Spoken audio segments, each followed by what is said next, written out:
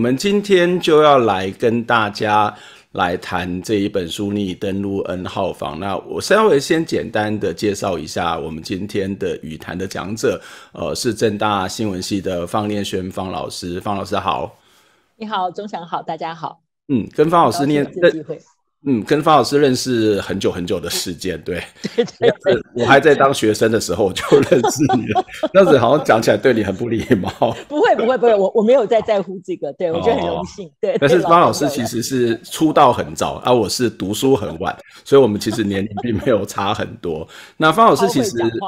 没有没有没有呃，对对好，省得我很会讲话。那方老师其实长期呃，我想在台湾的性别运动当中，你会看到方老师的身影，在台湾很多。多的各式各样的社会运动场合当中，也会看到方老师去参与，包括呃媒体改革运动，或是像女权的性别运动当中，都有很热烈的参与。当然，呃，其实我知道方老师从很早以前就开始在谈论或者在研究台湾的或是全球的网络文化，特别是网络里头的这个所谓的性别文化，或者所谓的性别暴力这个部分。然后，当然他呃最近这几年其实也特别关注在这种所谓的网络里头的呃性侵害。等等各式各样的问题哦。那今天所以很开心邀请方老师来跟我们谈这样的一本书。说一样，我们首先请方老师来给我们介绍一下这本书哦，以及这两位作者为什么要谈写这一本书呢？看这本书不止一遍哈。那这一次应邀来跟钟祥来讨论，所以我又把这本书再看了一遍哈。呃，那个这两位作者，我想就是刚才。开始前，总想跟我讨论。我们作为新闻系、传播系的老师，就会觉得很有意思，因为呃，这两位作者事实上在执笔开始进行调查，他们的身份其实是新闻系的学生，他们要呃报道奖，好就参与一个新闻报道奖。所以你在这本书当中还会看到啊，新闻奖。截止日期将要接近，那他们到底要用什么角度？然后报道如果得奖的话，对于因为已经开始采访，所以他们身在其中会问说：那我们的报道对于受害者，对于这个案件会有什么影响？所以他整个起心动念，在开始调查跟开始进行报道，是因为以学生记者的身份要参与奖项。但是我想写这本书，好，就是我们今天看到的《民意登入 N 号房》。那它事实上是一个整个呃参与到之后他的一个过程的记录，还有他们自己的内心的一个思考。好，所以我想他们的作品呃当时如何哈，其实呃我们在这本书里面大概没有办法一字一句看到，但是这是两个从年轻的记者一直到后来呃掀起了全球瞩目的 N 号房的一个纪实的过程。嗯嗯嗯，我我我我自己看这本书的时候，我觉得哇，好猛！两个大学生，猛，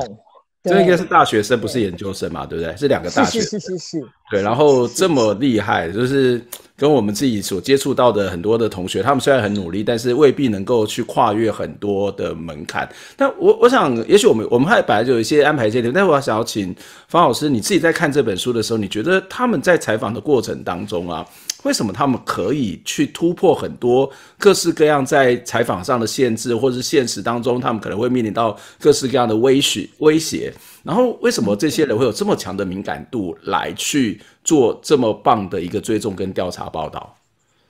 呃，我我不晓得，因为我自己没有访问过这个作者哈，所以我这样讲有点不负责任。可是的确，你你讲这件事情，我在看的时候，呃，尤其是这一次哈，我就我就一直在思考。我觉得在一开始，他们在进行采访，从书里面的语气跟他们的心情，他们其实并没有想那么多。好，我的意思所谓没有想那么多，因为现在我在带呃浙大新闻系大三、大四的进阶新闻采访写作，就是深度报道。好，我们刚好也有一组同学在做未成年，好未成年儿少的数位性暴力。好，因为事实上是因为他们的生活周遭是有这样的受害人，好，然后是他们的同才这样。那作为一个老师，然后再加上台湾目前我们已经有成熟的作品，包括呃《镜周刊》的《青春炼狱》哈，然后这个脸被偷了之后，还有报道者啊，他们在 PUA 跟沉浸诈骗这些报道，所以呃有很多前辈先行者的经验。那我在课堂上，然后我们也会不断的讨论伦理的界限，然后这一个呃被害者的心绪。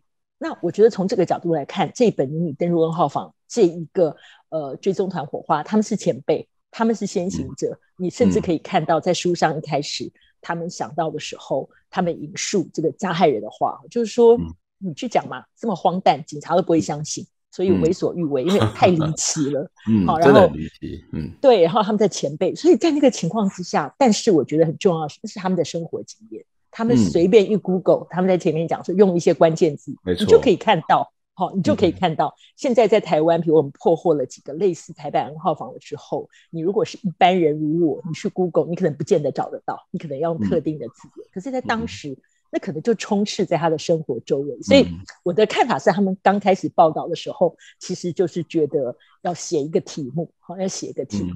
可是到后来，好，到后来，我觉得他们在报道的时候，他们就觉得说，他们唯一的目的，好，他们的唯一的目的需要的。他们在里面有一句话哈，当时我看的时候是吓了一跳。他们觉得要去采访，重要的不是专业跟知识，而是那一个一定要把加害者哈这个这个擒拿到案的那个决心，绝对要达到这个目标。所以我觉得那个很真实。但是呃，你说他们不在乎专业知识界限，非常在乎。他们在后面回过头来一直在想采访这件事情对自己、对受害人。好，那自己要不要露面？他们有非常多的考量，但那个考量不是教科书的，那个就是非常真实的，在他们去接受呃这一个其他人的询问，好，要不要去咨商，然后跟警方的互动，其他人来询问他们是谁，或他们用什么面目出现在呃社会大众的面前，好，然后能够再鼓动大家注意这个案子，每一步他们都有思量，每一步他们都会退后一步。看看自己，看看那一些还在受苦的受害人，所以我觉得很真实、很立体的两个记者。嗯，我觉得这本书还有一个好看的地方，事实上，哦，不是在做报道，就是他不是在告诉你一篇调查报道，我们在。报纸上面报刊就谈很多道，但他事实上是一个在谈他自己在采访过程当中的抽丝剥茧的过程，他的心路历程，他自己的特技，甚至回过头来反思他过去成长年代所面临到的这种所谓的性别的不平等的问题，或者是这些在他们很多不知觉的这种所谓的性别歧视的问题。这我不知道，就我在看韩国的很多类似的书，我之前也帮呃有一本叫做《那天在那里的人们》，他是李嘉赫。在谈这个呃韩国的这个弊案的呃一一个报道，就是崔顺实的案子的这个报道，我觉得哇，这两篇好好像好好看，就是就是我觉得一个记者在做报道的时候，报道本身好看，那个反思的过程，那个反省的过程，那个回望自己的那种生命经验，也是这一本书非常精彩的地方。对对，其实我不晓得钟祥啊，但是我自己以前刚开始教书啊，就是很早以前哈，就是我记得记协的目击者。还有呃，像 Columbia Journalism Review，哈，就是这一些能够把采访历程背后的心思、艰难的过程、新闻室里面的争辩讨论，最后怎么达到决定，乃至于没有决定，好，或者是在新闻采访被大家误议争议的一些事件，好，伦理的执行，我很喜欢看这些东西。对，有时候想想看，那个叫什么记者八卦吗？好，那我也是爱好八卦者。可是我觉得是那个东西才让报道立体了起来。才让记者这个工作站起来、立体了起来。那我们过去在现在也是哈，在带学生采访，也会不断的跟他讲说：你尝试记下杂志 （journal），就算不是给我的作业，你回看的时候，最重要的作品给别人，但是这些杂记很清楚，让你知道你有什么挣扎。所以我觉得我自己觉得这本书很蛮好看的，很好看。就像那个呃，美国的那个《Me Too》好，后来也是出版了那个《She Said》，翻译成中文。对我我自己个人是很喜欢看这一类的书。嗯嗯，呃，所以我也蛮推荐呃，对新闻传播有兴趣的朋友，或是你可能是新闻传播科系的学生，我觉得这本书某种程度上面真的可以把它 列入在新闻科系的这个材相关的教材当中，怎么去做采访？尤其是学生记者，对不对？哈，对对对，学生记者。对，我我觉得我非常推荐呃，除了看到这种所谓的性暴力的问题之外，这个。这个所谓的采访的过程，都是值得我们去好好的去学习、好好的去认识的一个过程了。不过，我想还是要回到这本书原本要谈的一个主题，就是 N 号房哦。那我想要先请教一下念轩，就是 N 号房的这个网络性剥削，它是怎么产生的？那这一群人他怎么去努力剥削受害者？然后，呃，他们又是如何在网络上面去贩卖这些影像、交易这些私密的影像呢？嗯嗯嗯嗯，我我想要先提一下哈，就是。在这本书，就是在这本书里面所记载的这个过程，韩国是一个什么样的气氛？我想，那个现在网络上大家都可以回到当年，其实，比如说，呃，二零一九年的七月，哈，在这个书在开始写作，作者在谈的时候，那个时候韩国二零一八年一年前，女性还上街头在抗议政府放任非法拍摄，啊，因为就是没有嗯不绳之以法，不把它当一回事。后来韩国事实上是一位因为一位男性，好，他好像是在运动房还是在职场上被偷拍以后，警察才开始呃开始认真办案，按照他们的说法，所以。整个社会的氛围当时是一个这样的情境，所以所谓的非法拍摄，好，对于很多人来讲，大概是有机可乘，他就会去拍摄。好，那呃，当时他们分成很多的不同的阶段嘛，哈，所以我们在书里面可以看到，那一开始其实是没有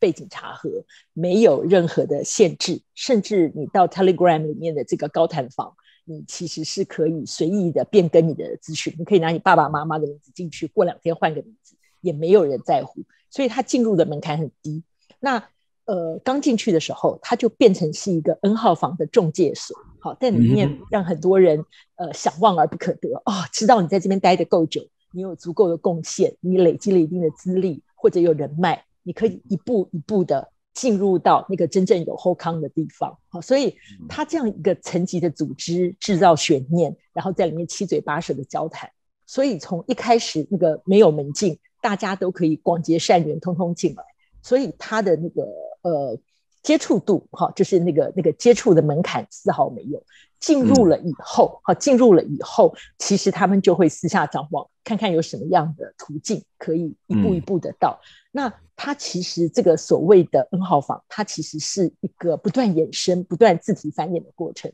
所以今天我可以把这个房炸了。很简单的，在另外地方又开了一个。那 N 号房里面七八个房间，你如果今天真的可以进入，那这两个记者其实我觉得他们很厉害，因为如果你知道这一类去报道是微信比较暴力，他必须要潜伏，他必须要佯装，他必须要在这个田野上蹲点的话，其实呃，你必须要知道他的术语，他的暗号。还有对方时不时可能会侦测你，所以他们曾经提到说，他也会去测试你是不是记者或者是是是警方的人员。是，嗯，是，所以他呃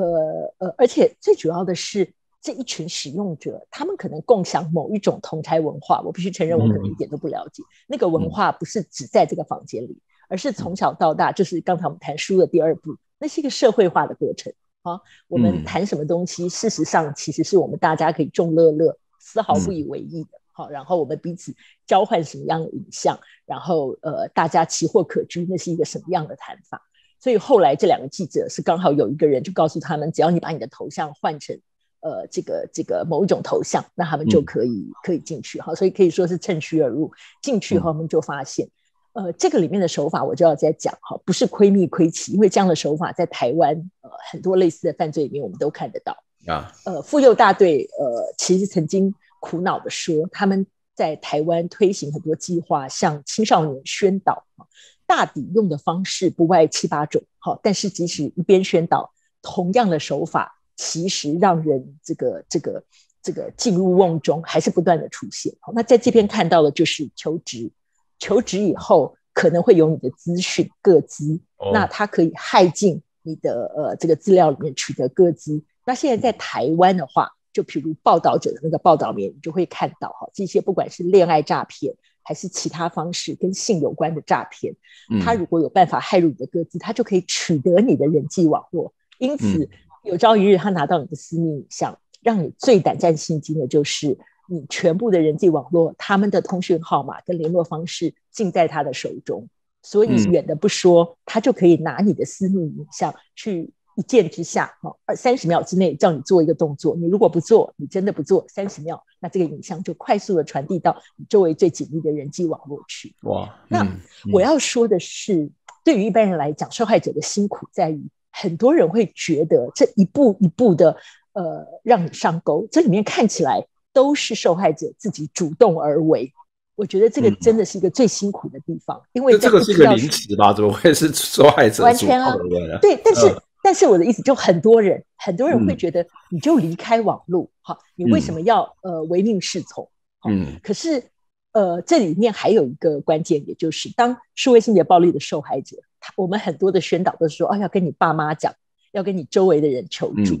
可是那一种无助感，很多的受害人觉得他的家人也拿这个一点办法都没有。那他甚至很会怕家人责骂他。没错，呃，责骂，或者是他们也很伤心，他们也为你担心。但是一个人无计可施，跟一家人无计可施，那会是一个什么情况？哈，嗯，那所以在这样的情况里面，呃，我们就看到 N 号房这个例子真的不远。我要再次强调，不是只有。两年前、三年前，韩国的例子，哦，后来在世界各地我们都看到，在台湾也是，他就告诉你，好，三十秒之内你要做什么样的动作，好，那那这一些动作如果不做的话，好，那我就会如何？那最后做了以后，如果不听话的人，好，那我会给你什么惩罚？所以各位如果有看今年夏天在 Netflix 后来公布的。那一个纪录片，哈，就是韩国恩号房的这个事件的纪录片里面，对，你会看到这些女孩，哦，就是受害者，哈，他们会做出一些常人所不能理解的动作，就是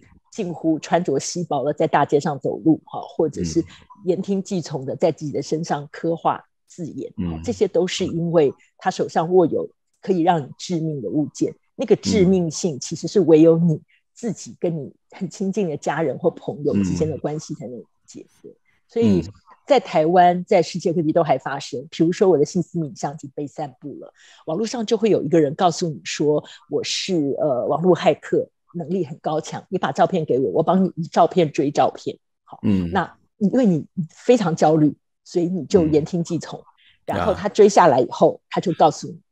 那那现在就由他来扮演那样子的一个分身，就换成他来威胁你了。对对对，可是，在网络彼端，这可能根本就是同一个人，对不对？因为你根本在网络上，他的容貌、他的声音、他的话语，全部都可以千呃一人千面，好，所以这就是一个很困难的地方。我多讲了，我把我们现在经验到的数位性暴力犯罪的这些样态都一并分享。嗯嗯嗯嗯，我觉得这蛮重要，就是这不是在看别人的故事，它其实可能就发生在我们身边。我们在看这些故事的时候，不要就觉得说啊，这些人怎么那么笨，这些男生或这些女生怎么那么笨，然后因为男的也会受骗，女的会受骗，然后就这样子被骗。那其实这样聂轩讲他不是嘛，他是害到你的这些私私密的账号里面取得到某些关键是关键线的一些资料，这个资料包括你的个资，包括你的私密的照片，然后慢慢的去凌迟你，慢慢的去。引诱你，慢慢的去威胁你，所以它事实上是一个一连串的已经设计好的过程。而当我们一旦这些照片被掌握之后，我们就会不知道该怎么办，然后我们就会慢着顺着他的逻辑，顺着他的脉络，顺着他的脚步这样走。可是真的没有什么办法嘛？我们好像也不敢告诉爸爸妈妈，告诉家人，然后呃，我可能也不敢告诉朋友，因为这可能是一件很丢脸的事情。那那怎么办？就是靠警察或者自己。我自己就是先先报警，当然报警前面还有些还有些程序，比如说，呃，我们过去在宣导的时候，最最常会提醒一般人的就是说，因为很多人他要的其实还不是呃找一个公道，他要做的就是迅速的将私密照从网络上拿下来。对，那嗯，在这样的一个一个过程里面，所以你有可能病急投医找错人。好，嗯，那呃，另外就报警之前你要把证据。保存好，就是不要急急忙忙的删照。就是如果你有能力真的删照，你要先保存证据，才能去警察局报案。好，因为你如果没有证据，事实上他也很难成案。好，就所以这里面其实是有一个先来后到。因为过去我们在台湾的学校里面也会看到，在宣导比较早期，大家不知道的时候，很多人其实就帮忙受害者，我们赶快在网络上呃销声匿迹，把这照片拉下来，大家看不到，那也就嗯当做没有这件事。可是。呃，现在其实是有比较多的宣导，哈，所以比较大家这个这个比较比较会清楚知道，对，嗯嗯，这个是。那我自己会告诉学生一件事：你可以不必告诉家长，你可以不必告诉老师，但是任何人，即使他在没有成为受害人之前，可不可以想好三个对象？就是我自己啦，我自己教学上会这样讲，就是这三个是一旦发生事情有异的时候，不管是 NGO，不管是报警。好，不管是一个你可以信任，而他有办法，或者是他有那个呃，你你的信任可以跟你一起来讨论，可以沟通的人，好，你可以，因为我们过去在报端或者很多时候都看到，一定要告诉家人。我觉得这件事情固然没错了，但是我们自己在例子上看到非常多的青少年，他其实是摒除家长在外的，对，怕被责骂，怕他不理解，也怕他伤心，对对对。嗯，这这的确是我们可能要更多的这种宣导，或者是更多可能就是要做准备，因为在网络时代，说实在，某种角度是没有秘密的啦，就是会发生什么事情是没有人知道，所以我们自己在使用这些各自的时候，真的是要小心，不是只有说你可能各自被拿去做演算法去卖，包括你的私密照片，包括你觉得很多秘密的东西，是不是要上网或者要怎么样去把它保存好？我觉得这可能还是我们一些很重要的个人保护的素养。当然，它不是一个纯粹的个人的问题，而是整个社会里面。呃，这种所谓的犯罪，或者是这种所谓的科技技术，怎么去做有效的规管的一个问题哦。那再退一步来看好了，就是呃，这种所谓的性侵好，或者是所谓性暴力也好，或者性犯罪也好，事实上在人类历史以来，呃，应该讲所有人类就有这样的一种状况。那在网络的时代当中，它到底这些新的科技、新的技术，怎么样去强化，或是更让这样的一个现象是更为严重呢？就是科技在里面扮演的什么角色？我我们我们怎么看它？哈，那个 Telegram，好，我想台湾的朋友，中想我们都是哈，在之前香港的这个反送中的事情的时候，大家对于它好像是很多人对它开始有有所了解。嗯，那在我的研究跟周围的同文层里面，的确是因为数位性暴力，哈，这几年的情况，其实对 Telegram 呃有有更多的理解。那我们前面讲过，就是说 Telegram 的一个这样的性质，哈，那。呃呃，它的它的不单是这个平台，我们对于一个平台的理解，不是只是把数位的环境当做是一个平台硬体，平台里面它有它的架构，还有一个在不同的社会里面，这个科技是被一个原来什么样的文化跟价值观包裹在里面，它都会影响平台怎么被运用。这样讲很奇怪，因为有的人认为说，数位平台不就是跨国际吗？好，跨国境怎么还会要讲一区一地一个社会的文化？哈。那呃，我举一个例子，哈，美国我们做传播研究的人可能都知道那个 PEW Pew 哈，就是这个皮尤中心，它会公布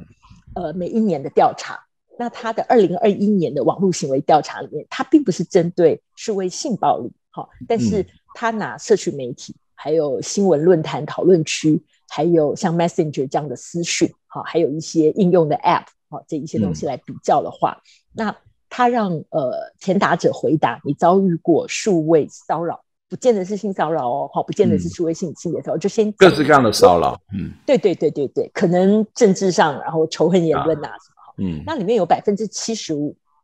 回答的民众，他都表示他所遭遇的数位骚扰是发生在社群媒体里面，好，社群媒体里面，然后百分之四十一就是说，它不只是发生在一种平台服务，其实是交织的，各式各样都有，嗯。那跟我觉得跟性别跟性骚扰比较有关的是这个数字底下我讲，就是说对小于三十五岁的成年人来讲，哈，他曾经在近期遭遇数位骚扰的男性女性，其实那个比例哈是差不多的，就是说，呃，百分之十二的女性，百分之十三的男性，什么经验呢？他们都是在线上约会软体或者是约会平台里面经验这样的骚扰。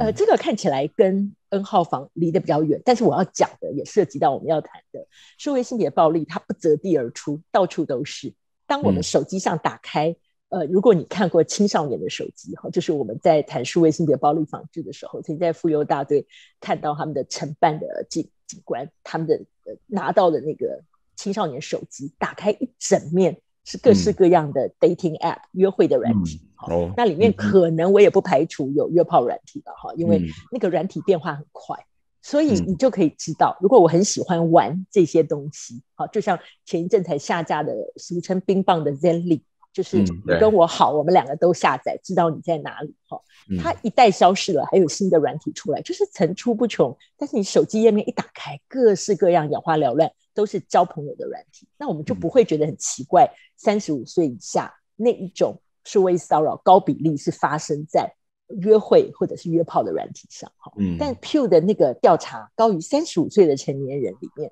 那女性就比男性高，好，就是女性要比男性有更多在线上约会平台软体里面遭遇数位骚扰的经验。嗯。这是一个。那呃，Telegram 是一个今年十月的调查。它的活跃使用者是有七亿，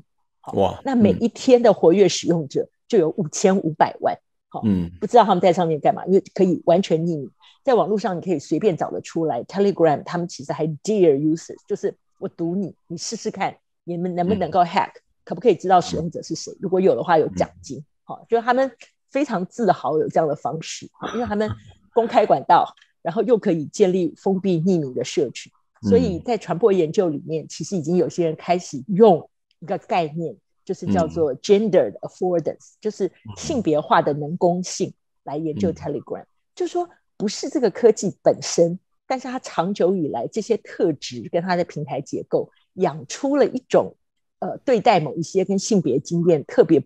不友善的一种。互动方式，好，互动方式，嗯。嗯，比如说，好，比如说，我们今天大家都是你，好，大家都是你，那那个人真正发言的，不管是生理男还是生理女，但是他在上面，我举一个例子，好，比如说他今天是要，哎，其实不要讲别人，讲我自己就好了，好，呃，很多人就会说，老师，那你会不会常常在网络上去舌战战别人？嗯，我跟我很诚实的说，我我不战，好，因为第一个我没有时间精力，第二个你在网络上的文化，你知道那个蜂拥而至的样态，好，就是你常常偃兵息鼓不讲话，不是因为你说不下去没有理，而是就是不断的涌来。我举一个例子，像呃十二月十五号在屏东。呃，某一所科技大学发生的例子，我不知道钟祥你知不知道？就是世足赛打的正热，结果在男生宿舍里面发现，他们用一个 D card 上面用一个标题叫做“四角兽极品出现”，就是有男生在宿舍里面看到一个厕所底下有两双脚，嗯，所以他们就呼朋引伴同时直播，于是厕所外面那个新闻照片就一层一层叠满了，就是人潮，对，涌在那一个厕所的外面。那我要讲的意思，你就可以用视觉上去想象，哈，就是一个在群体里面不由分说、很难论理，好，但是不断的叫大家来围观，想看血流成河的样态，嗯，就是一个是这样，但是看水流成河没有成本，因为你也不知道我是谁，你了了解我意思吗？好，就是你一言我一语，然后当时在这个事事件上，我觉得最惊心胆战的一句话就是要让他大型社死。好，就是社会性死亡。只要能够把厕所隔间里面的那两个人抓出来，他在网络上就是好恐怖啊！对，这个这个事情，其实教育部呃立法委员 好，还有性别团体真的是大声挞伐，好，真的是大声挞伐。好，因为我觉得他在厕所里的人在做什么不重要，好不重要。可是这个就是我说的，这个叫做 gender affordance。这些人不是一个一个敲门来的，可能是那天晚上。大家都在网络上，本来是看世足赛，我猜的啦。好，那一声令下，一声令下，然后大家就不必亲自 physically 实体的呼朋引伴，在网络上一号召，不是一人到场，那个场面大概是百人，就是到场。所以我的意思就是说，所谓的 gender affordance，并不是说科技一定是生理男性设计、生理女性设计，而是当社会上面的性别偏见。刻板印象成为数位性别暴力的前哨，那性别偏见、性别刻板印象，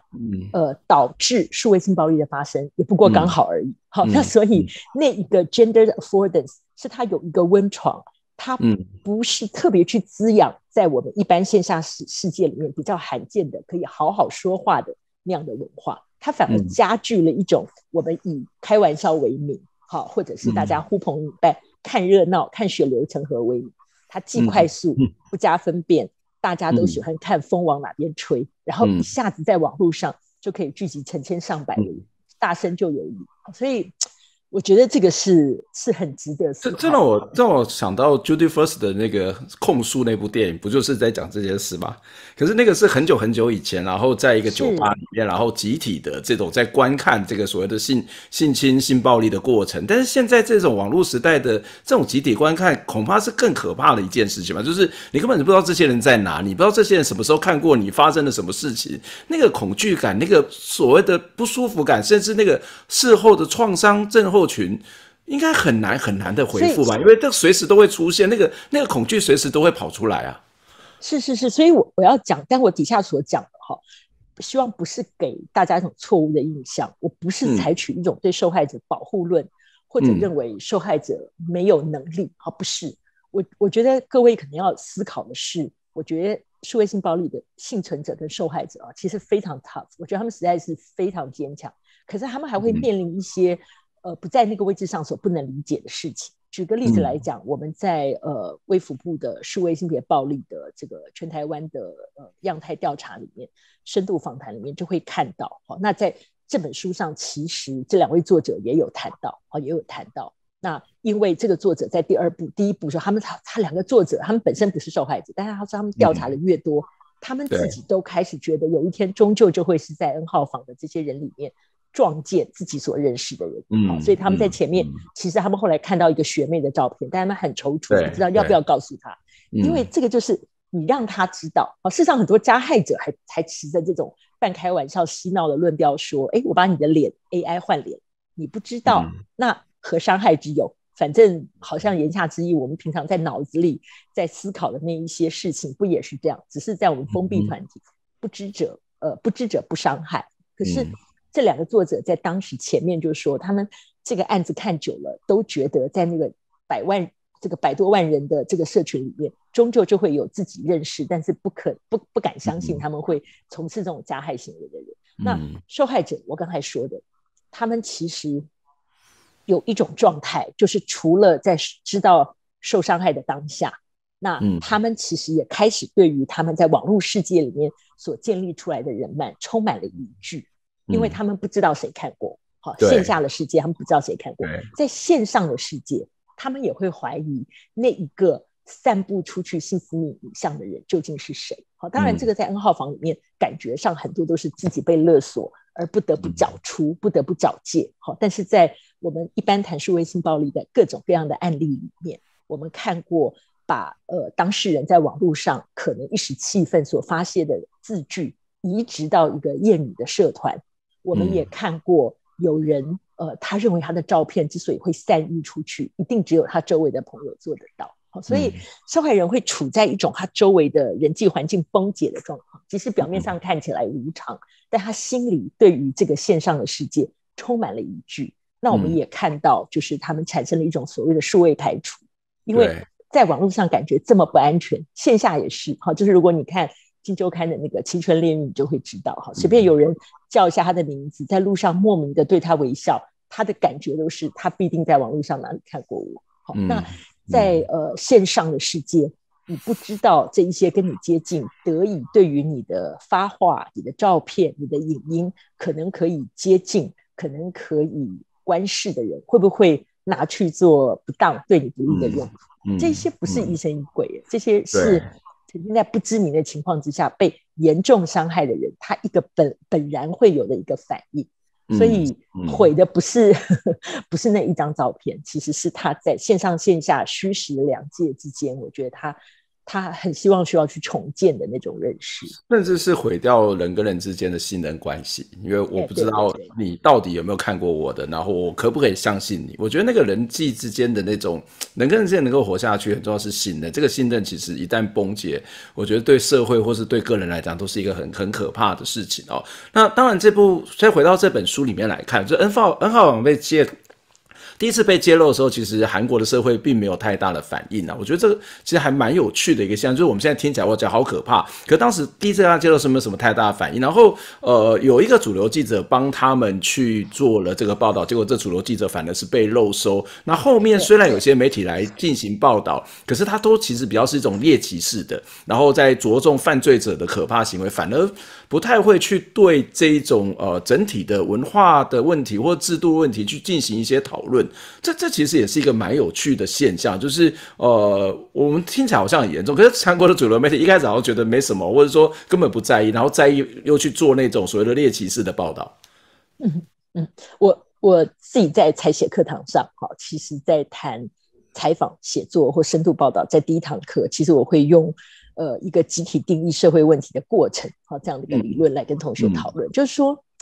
我们我们当然。尤其是我们在新闻系教书，好，我们会希望建立建立记者的能动性，然后让他知道守门者的重要，哈。但是整个，毕竟他推出一个议题，他呃非常费心的去报道，那个报道那个处理的议题，是不是可以被社会大众呃有得到一个共识，在报道问世的当下就知道这是这是一个重要议题，不单只关乎事件中的受害者、加害者、当事人。也关系我们，我们这个社会要有这样的认知，它必定是一个社会集体定义的过程。这个里面集体定义，它靠记者，它靠检警调，它靠站在一个有发生分贝位置上，可以对着不管是学校里的人、家长、有资源的人、立法委员、好公务员，嗯，讲话，呃，不见得海水会结冻，但是能够能够影响，让大家一起来观视，说这是一个问题。但是我觉得，在呃，你刚才钟祥提出的那个那个时点上，哈，其实韩国面临一个什么情况？当时到后来，N 号房的这个法官有更换，不知道钟祥记不记得？哈，就是当时的一开始那个首尔中央地方法院，哈，就是本来是一个吴德直法官，好，那他后来被换下来的时候，当时事件因为呃慢慢在在审理的过程，很多人就会觉得说，这个这个这个这个到底会会走到什么方向？哈，因为。因为呃呃，在书里面有讲到哈，就是警察说这个这个 Telegram 犯罪，哈，连搜索令都不会签发，根本抓不到那些人，就是犯罪，就是受害者去去报案，哈，但是搜索令都不会签发，好，都不会签发。那呃，这件事情其实，在台湾前几年，当数位性暴力犯罪的样态翻新，当时叫翻新啦，就是手机上那个 AirDrop，大概大概中想知道，就是我们弄一个 AirDrop 放在捷运上。对对对，然后就会有。现在苹果也把它哦外人传送的时间也把它缩短了，你不能够随便乱传送了。嗯，对对对对，所以当时那个数位痴汉的事情发生的时候，去警察局报案，其实他也不知道那是一个什么。然后我们访问的数位性别暴力受害者，也有人是真正的进了警察局，在说明，因为他的犯罪样态是交织的，就是对方既在 Facebook 上建假账号。然后还会呃，这个乱录制这个网络性爱的声音，好，就是整个样态交织。他当时受害人讲，就是成案的警察听得天花乱坠，他他连要写那个记录，他他都不知道应该要怎么处理。所以第一个，剪景调在当时对于数位性别暴力的认识，可能呃跟现在。有所差别，好，那再加上我们刚才说这个城里的法官，他当时其实是一个什么样的法官？就是，呃，他当时这个梁千豪这个记者有报道，好，就是他当时在在在承办一个已经过世的，大家可能很多人都知道，哈，就是这个前女团的成员具赫拉的这样的一个例子，哈，因为他被男男友殴打，结果这个法官认为两个人在交往，所以呢，这个性爱影片说是。呃，偷拍那到底是偷拍还是真正合意拍摄？这个也很难知道。但是他没有顾及到后面那一段偷拍合意拍摄，他被拿这一个情色跟性私密影像来勒索。好，所以就是在一个这样的氛围里面，所以我要讲的是，如果以我们刚才讲，社会是需要集体来定义，固然有震惊、震动社会的新闻报道出来，但是要让它能够继续持续的引发社会关注，它。不是一个只靠记者就能够做到，尤其当社会有非常强烈的厌女的秩序跟文化，看到这一切女性的遭遇，都会认为，嗯，那你做了什么？好，就是责难责难被害人嘛。所以我就是会去控，就是会就是反正是被害者的问题嘛。你干嘛穿那么少？干嘛在半夜还走在路上？为什么你要把照片交给人家？为什么你要上传你的私密照片？嗯，对对对，然后我们看到那个呃 Netflix 的那个纪录片，我们就也可以看到，好，就是这一个加害团体的嚣张，就是刚才你讲到的，好，那他在前面，事实上甚至会对于有意追查的这个新闻媒体的从业者，哈，嗯，横加横加威胁，这件事情是在全球都发生过，就是数位性暴力的呃从事调查工作的人，好，那我觉得这个是我们将来在做新闻研究，或者是不管是研究从业者。好，或者是大家应该要要可以可以集结起来发挥力量，就是在从事这个全球滚雪球一样越来越大的一种犯罪事件的时候，我觉得新闻组织对于这个不管单枪匹马还是从事调查报道的新闻团队，其实是必须要给予更多支呃支援，那社会也要也要予以肯认。好，那那另外一个就是说，那为什么有的记者后来就加油添醋报道？因为受害者报道在我们新闻学或过去的研究上。他从来就是一门好生意，好，就你光去想象，受害人很 juicy 嘛，他又有故事，对不对？然后大家可以呃加油添醋啊，究竟是什么原因他走到这个地步？好，那如果受害者是女性，嗯，那在台湾的社会新闻报道里面，那我们就不需要说，光是那个法院判决书系统拉出来的判决书，那里面大概就可以写出好几篇非常有滋有味的新闻。好，所以这件事情不是只在韩国发生啊，在台湾其实我想也是大家很耳熟能详。嗯嗯嗯，好，我们等一下就会马上呃开放给大家来提问，所以我们在线上的朋友，如果你有任何的问题，对这本书有什么样的想法，或者有任何问题想要请教方老师，都很欢迎你可以提出来，就在我们的这个观看的直播系统当中，你就可以看得到有输入留言跟提问的地方哦。好，那我想要接下来也要继续的跟呃方老师来讨论，其实我们刚刚谈了半天，之后我觉得那个背后可能是一个很。严重的一个文化的问题了哦。那我很喜欢这本书的第二部分。这本书的第一前面在对第一部分在谈的是他在怎么样抽丝剥茧，怎么样去做呃采访的过程。然后第三部分事实上有很多他自己的这种采访过程的反思。可是在的第二部分，我觉得很好看哦，很好看是这两个作者因为都是女性，那他就在开始从他自己小时候成长的过程开始去谈起哦。例如说呃爸爸的这种呃很可能期待一个男孩子啊，或者是说。跟男朋友交往的过程啊，或者是说，可能在很多上课，或者在这个呃，在。呃，在工作上面或在生活在游戏当中，他其实面临到非常非常多的这种所谓的对性别角色的期待，或者是某种对性别歧视的无意间的或是有意间的这一种所谓的言语。那当然也谈到他们自己的性别意识的呃这种所谓的整个整个启蒙的过程了。所以我在看这部分的时候，我就觉得哇，好像某种程度的去解释了为什么 N 号房会发生它背后的一个结构性跟文化的问题。那但是我也想要去了解的一件事情，就是假设这种所谓的日常生活，或是这种传统的文化或者结构、性别结构问题没有办法改变，那这种 N 号房的问题，它其实也不会改变吧？嗯，对啊。如果按照我们说的暴力连续体的概念来看，就是数位性别暴力不是忽然有一个恶魔基因的人自意而为，它事实上是因为我们社会上。做看不容许他这么做。好，我常常举这个例子，就是说，在二零一八，呃，在我我研究这个未经同意散布性私密像在英文世界最早期的一本专书，它里面其实是进行了一个调查，访问了三百多位，好，加害者就是没有经过同意把伴侣的呃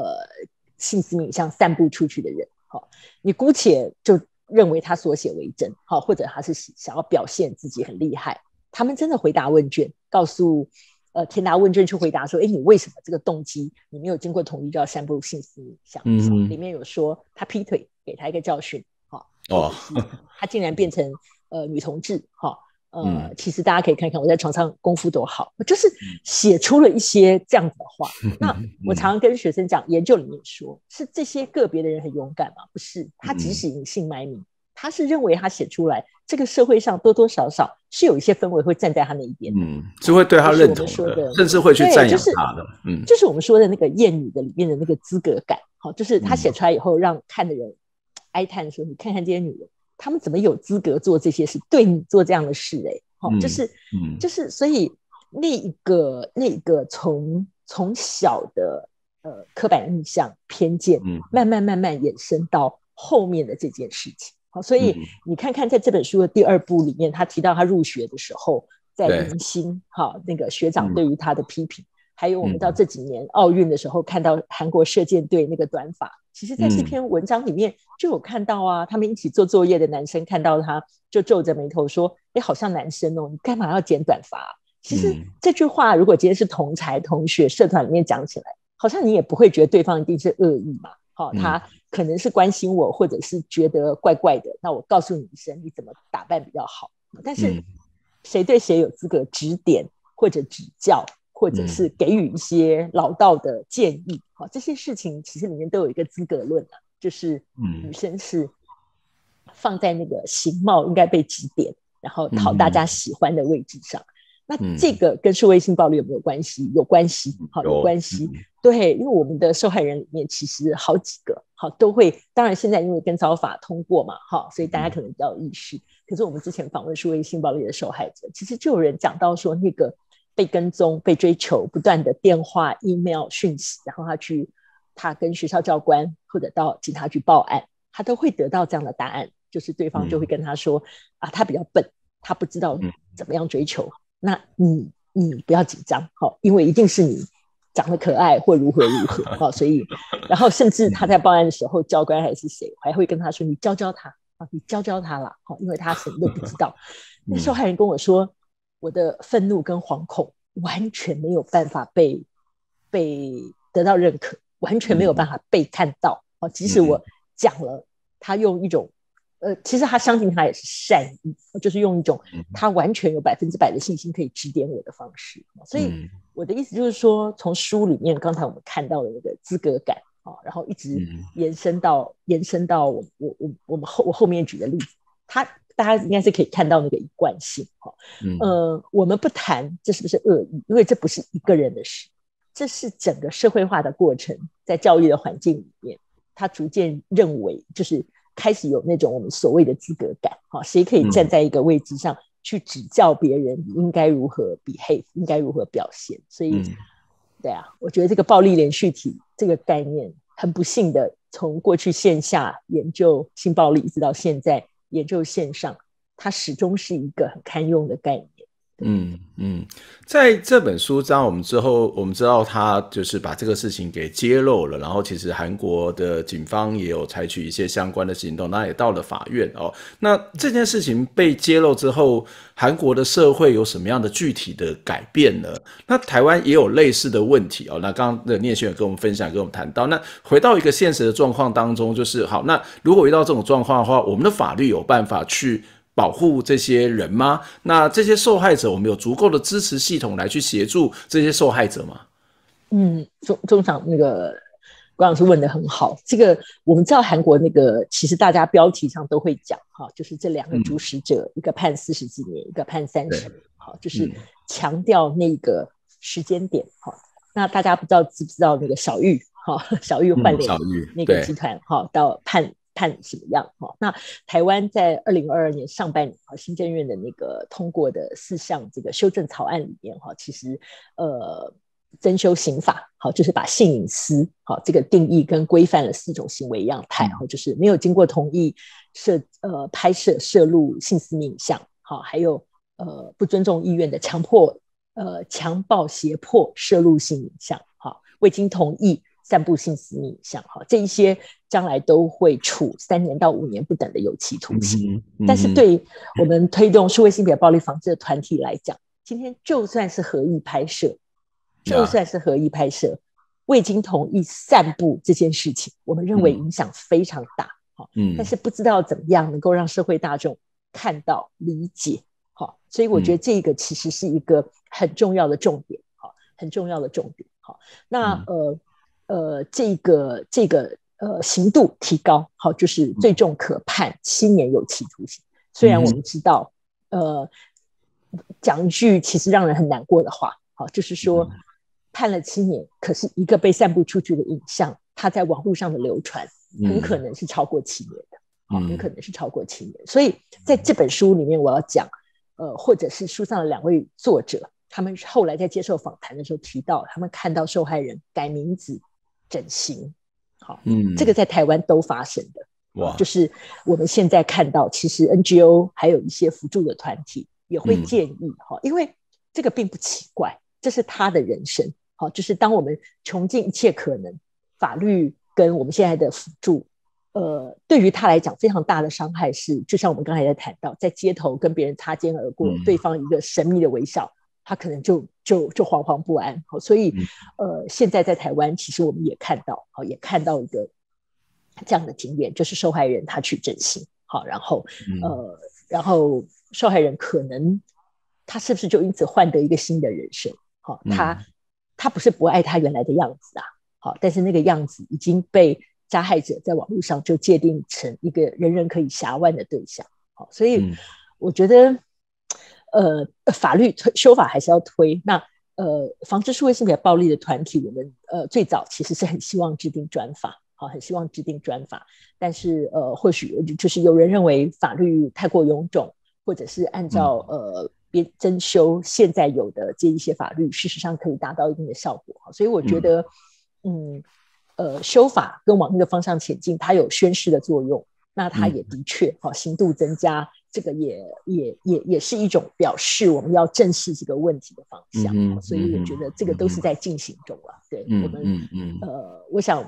立法委员跟相关的团体从来没有松懈哈，始终把它放在一个最重要的位置。但是我认为社会大众怎么看待，怎么看待这件事情，跟怎么看待伤害，我我觉得还是很重要哈。就是以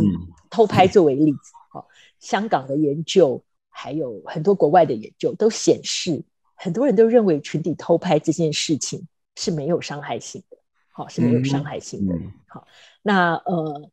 其实呃，不管它是不是涉及性私密，好，这个里面涉及到的是一个别人的身体在网络上可以素材化的问题。哦，就是我们在呃做完也做做这个卫福部的调查之后，我们现在在撰写的一个分析里面，这一个把。活生生的身体变成网络上可以公开赏万的素材，好，所有的东西都可以拿来拼贴，再创造赏万，好，然后告诉你这不是你，这只是我们我们的素材，好，那当然，呃，这是一种说法，另外一种说法，我们看到的是跟呃 N 号房当年很像，它不单单是影片，现在的技术或现在的追踪的方式，我可以把你的学校名字、出没，好，通通把它打包。好，变成是一个包裹，好，然后在这样的一个呃这样的一个一个会员制的私密的地方，好，然后待价而沽。因此，当你在看照片或者是在线下看到本人的时候，你其实是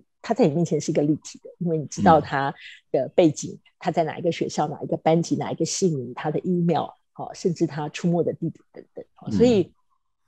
呃，我们刚才之前在谈到这个防治的过程里面，同时间。这一些呃犯罪的手法，呃，跟他所建立起来被害人跟加害人之间的关系，它不断的在变化，哈，不断的在变化，所以我想这个部分是是一个很大的挑战，嗯，是一个很大的挑战。嗯，嗯我们还是在现场欢迎所有的朋友，如果有任何的疑问或是什么想法要分享，都很欢迎留言给我们。因为我们时间呃其实剩下一点点的时间，所以如果大家有什么意见，可以尽快的来告诉我们。那那我刚刚其实还有一个问题，就是哦，那这些被害者，我们社会里面。呃，我们现在的政府好了，或是我们这个社会里面 NGO 有什么样的协助系统吗？支持系统吗？就是呃，刚刚谈到这种伤害是很恐怖，可能是一辈子的，但是我们总不能让他一直囚禁在他自己呃被受伤的这样的一个状态里面。那我们怎么样去协助他们，或者是说这个社会的支持系统又是什么呢？呃，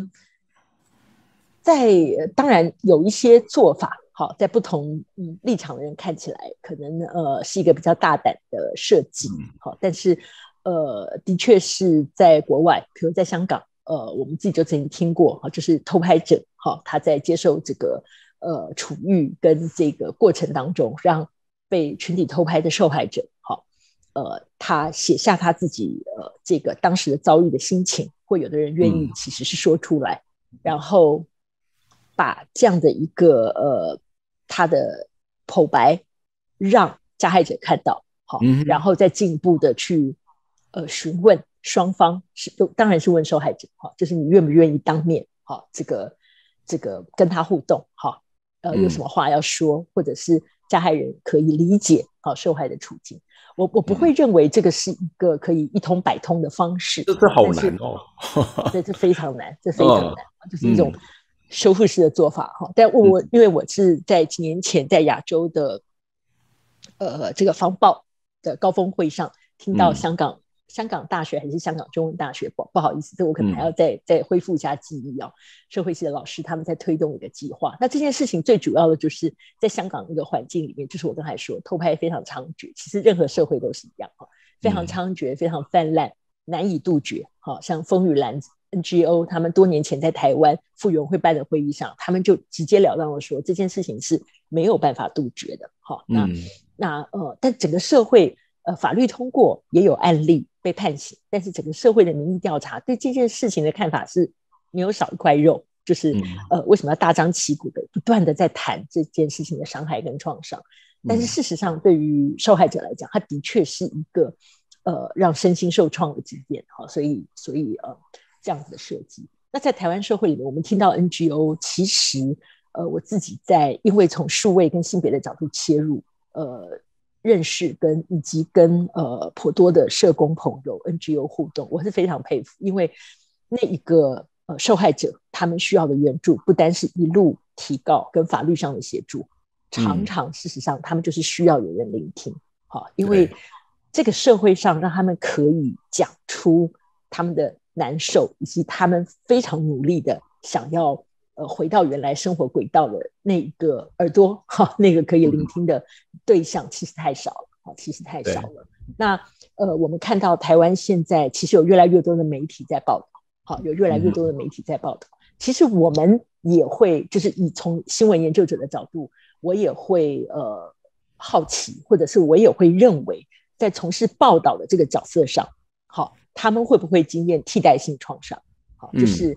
因为你从事这样的报道，就像我们今天看你进入 N 号房一样，好，每一种呃某一个路线，每一个不同事件的报道，那个特殊的报道经验，它都可能给报道者带来冲击。好，那我们应该怎么样的去认识？好，那所以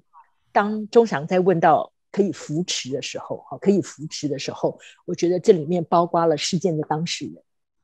然后也包括了从事报道，把这样的故事。呃，经验带到社会面前，希望能够呃集体引引发社会集体来定义、集体来肯认我们的经验里面要正视这样子，不只是个人的经验，是我们整个社会正在经验科技发展的过程当中，这样子一个新的冲击。所以，嗯，呃，就就记者来讲，我也都会认为这个是这个是需要正视的一个挑战。嗯嗯嗯嗯。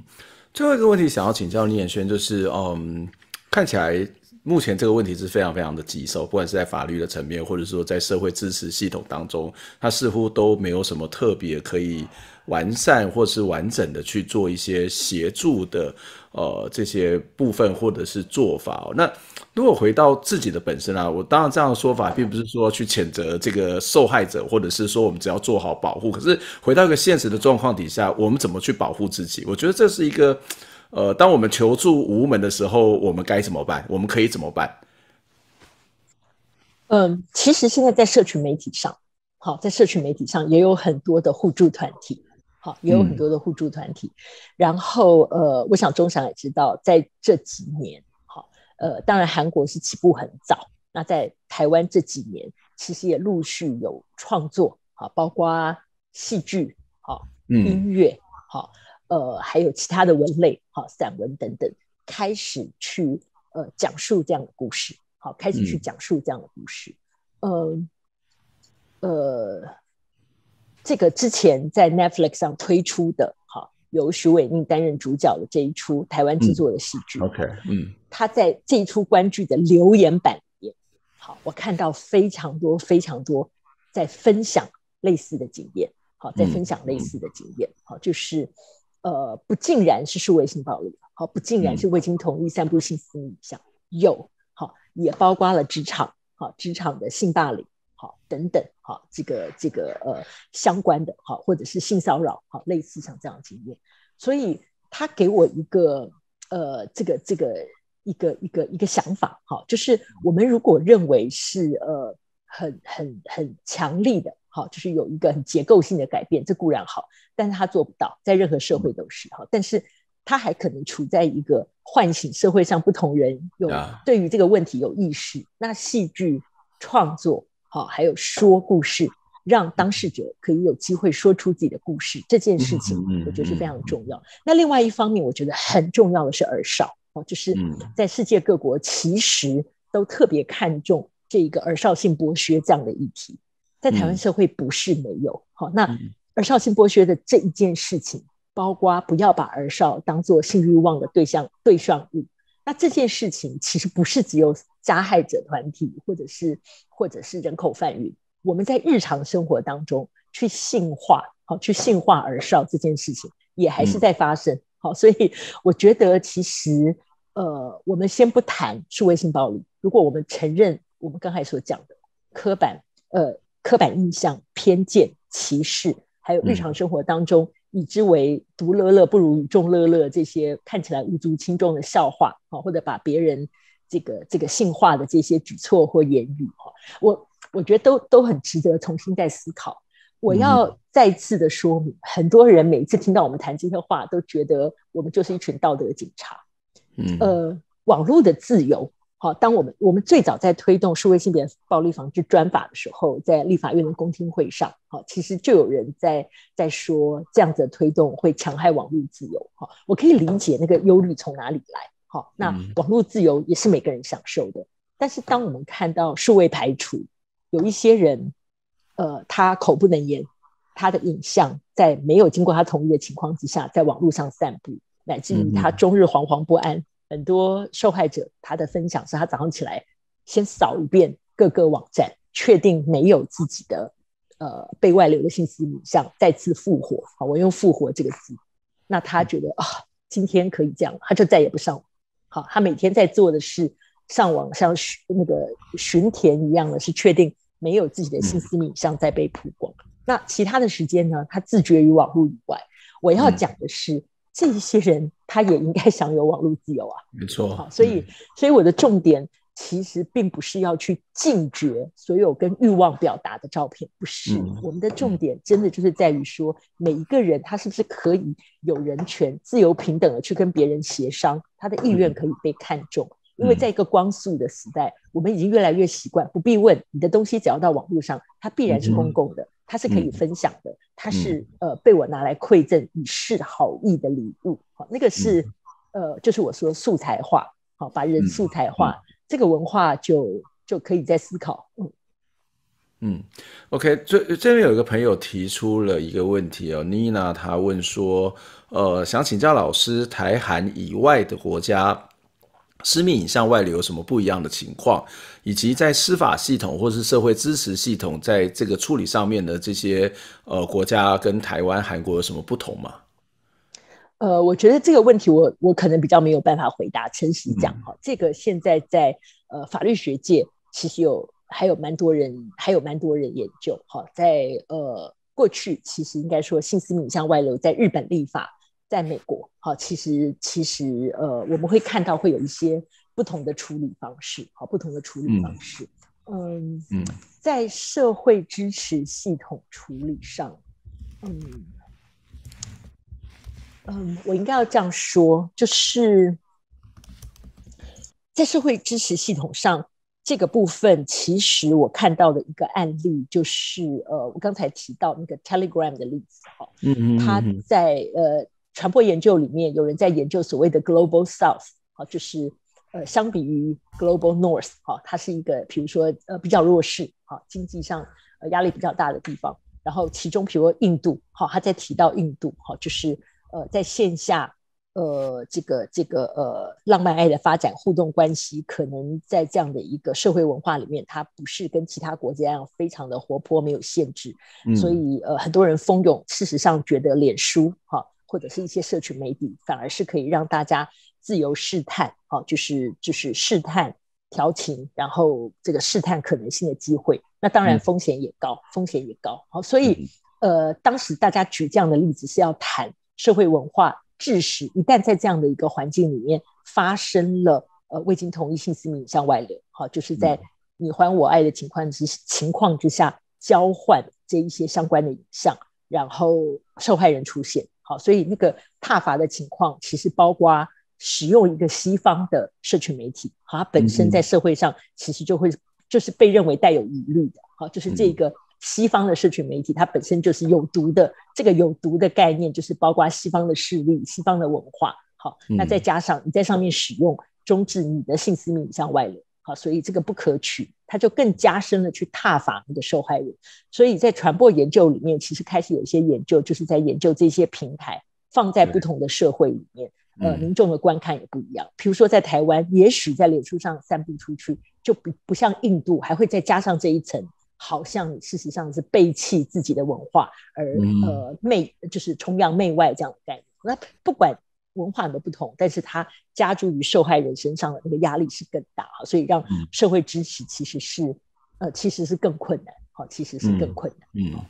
对，从我的专业很呃，我可能呃回答的这个没有办法完全回答你的问题，抱歉。嗯嗯嗯，我我想今天收获很多，就是我 我觉得呃，这个绝对不是一个纯粹的网络的问题，也不是一个纯粹自保的问题，它可能是整体的。刚刚谈到一个网络到底我们怎么去面对它，或者怎么去管理管规管它，或者它更大的是一个所谓的呃文化跟制度，或者是在。数千年来，人类的这种所谓的性别的呃不平等，或者是所谓性别的压迫这个问题，其实一直都没有解决，也一直呃看起来是有进步，但是还是会流落在或是展现在在不同的这种所谓的场域、不同的脉络当中哦。那今天非常谢谢呃念轩老师来跟我们做分享，也谢谢呃各位朋友在线上跟我们一起来参加这个线上读书会，呃有这么多的朋友来跟我们一起在线上来聊天。好，那再次。是的，谢谢各位朋友在线上跟我们一起讨论，也谢谢念轩